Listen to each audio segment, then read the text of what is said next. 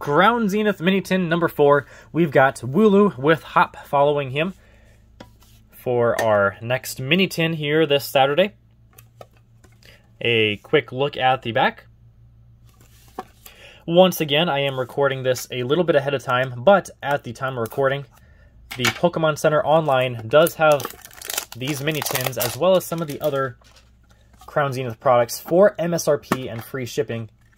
And MSRP for these mini tins is $9, the best value in terms of getting a pack if you do not care about other coins or promo cards. And our two Crown Zenith booster packs. We have had moderate success with the first three mini tins. We've had at least something in every mini tin, but nothing too crazy. So either today or tomorrow in our final two tins, I am definitely hoping we can get some type of pull. I would love to see one of the, I believe there's four gold cards in the Galarian Gallery set, set so maybe we can get one of those.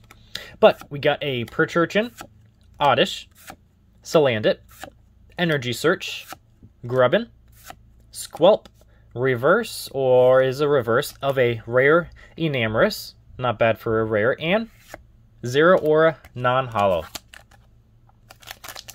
That's alright. Well, we got pack number two.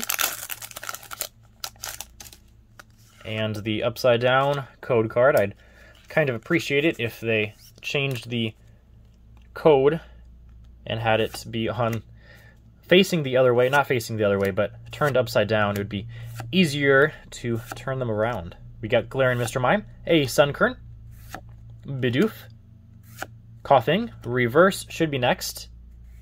And it is another rare reverse, and I gotta say, rare reverses in subs with uh, sets with subsets I will definitely take. We got Hoopa, and our first non-hit tin is a Yan Mega non-holo. But maybe that means our fifth and final tin, Bede, will have something good for us tomorrow.